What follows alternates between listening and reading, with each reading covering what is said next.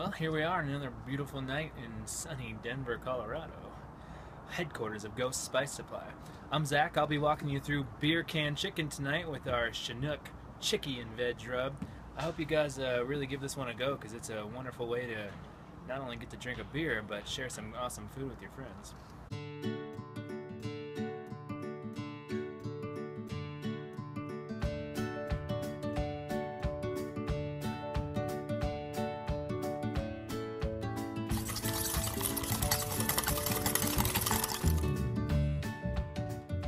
Alright, so once you've made your sauce, you're going to want to take your chicken. You're going to want to pour just a little bit of oil on that puppy and sort of just give him a nice rub down.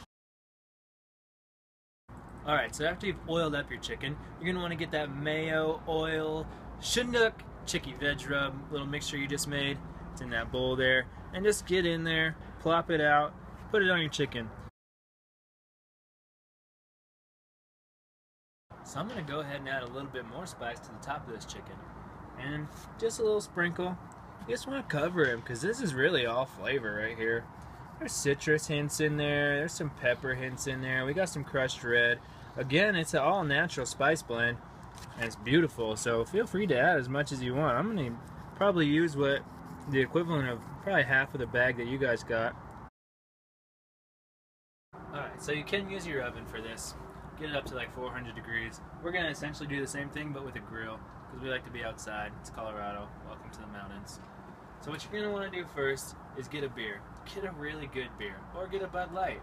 It's on you. Second of all, drink half of it. If I find out that you poured it out, I'm coming to your house. So, once you get your oven or grill up to about 400, to put the beer right on there. It has to be half gone. Don't forget that. Drink something. It'll be more fun while you're cooking.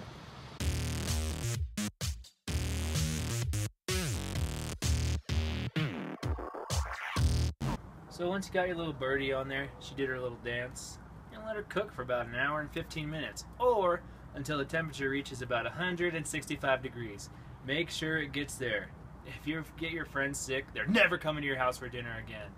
So do that. Drink a beer in the meantime because you got a whole sixer. Let's do this. Alright, so to go along with our beer can chicken tonight, also in your GHOSTpack you got an Asian 5 spice.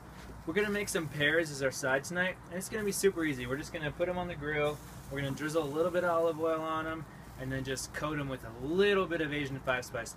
That stuff seriously goes a long way, so you're going to need to just use a little bit, and it's going to be great for you.